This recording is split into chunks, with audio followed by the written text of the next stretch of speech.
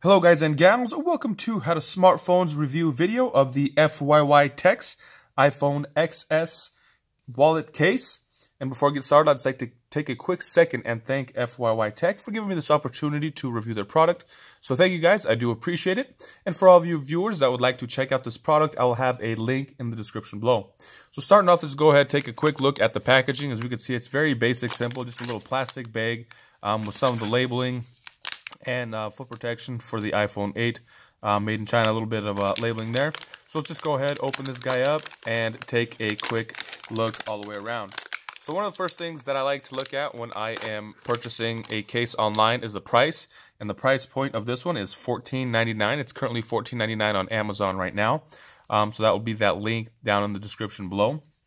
And it does come um, in a bunch of different colors. I believe there's 36 different colors, um, ranging from reds to blues, yellows, pinks, purples, greens, black, brown, and they also have a bunch of different prints like flower prints and um, everything else like that. You guys go ahead and check that out on that link. Um, a lot of cool stuff there. So just a few things about the case. Um, it is a handmade leather wallet um, type case.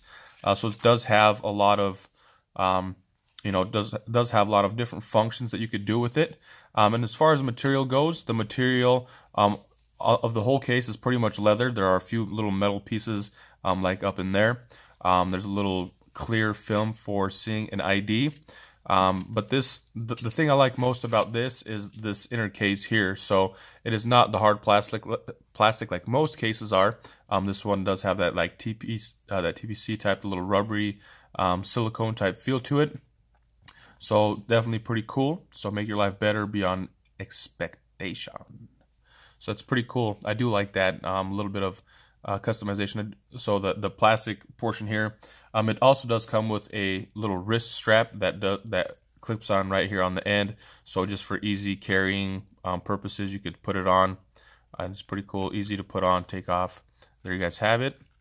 And then a couple of the other um, features about the case you know, like mentioned before, does have this a wallet case, so it does have two uh, slots here for different cards and things of that nature. And then in here we have something bigger if you had cash, um, notes, whatever else you might want to put in there. There is a place for that as well. Um, it being the uh, wallet type case, you can turn it into a kickstand just like that fairly simple.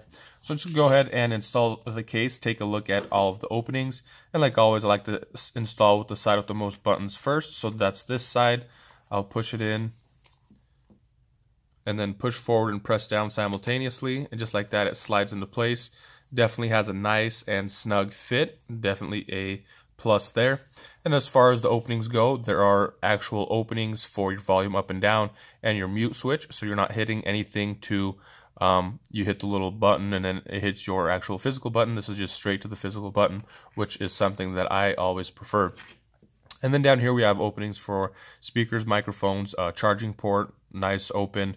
Um, I did try a couple other chargers and they do fit, so um, A plus there. Big opening here for the power button. Um, definitely it's something you can reach if you're holding it you can reach it and and as you hit it you can actually feel it hit so uh, nice. There's nothing here on the top as we take a look at the back. Nice large opening for the camera. Nothing to uh, get in the way while you're taking any pictures or videos.